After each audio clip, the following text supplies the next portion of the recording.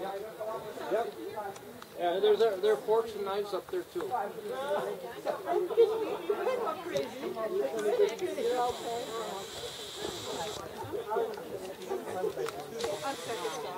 Oh, this is the best place I'm to coming up here. Where do I This go get is my the food? place I'm to gonna see put it. my chair. Isn't it great, Karen? This is ideal.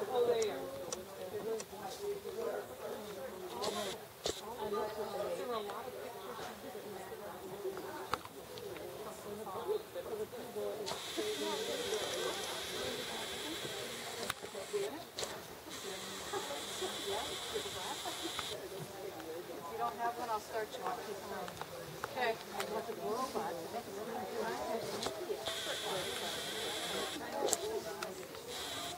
No, not Paul. Well, in India, it's more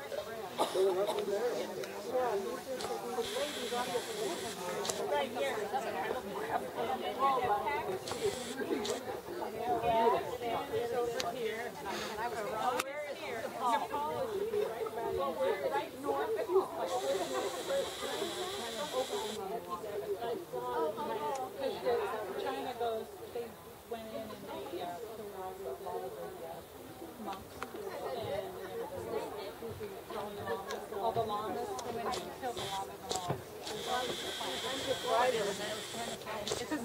Gave all my passengers glasses of wine. I'm the driver. I guess oh, I'm going for coffee. You'll be fine.